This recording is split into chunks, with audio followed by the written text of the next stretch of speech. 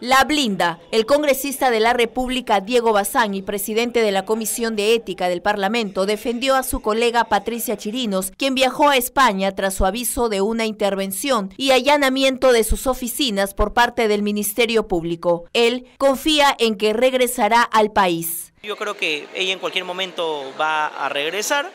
No, eso eh, lo he conversado con ella, no es para nada una fuga, ¿no? Que ella regrese.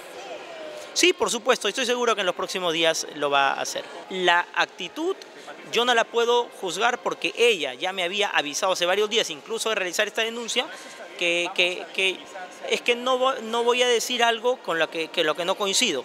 Esa es mi posición y si no la comparten o no la respetan, bueno, es mi posición. Bazán Calderón prefiere no juzgar la actitud de la congresista Chirinos y considera que no se ha evidenciado una conducta antiética en su condición de presidente de la Comisión de Ética Parlamentaria, bajo el sustento que el viaje de su colega corresponde a una visita familiar por fiestas navideñas. Yo soy presidente de la Comisión de Ética Parlamentario y como tal, si veo una conducta antiética, por supuesto que la procesaré. Hoy particularmente en esa posición no hay ninguna conducta antiética, por supuesto, y si hubiera algo, por supuesto lo tendré que investigar.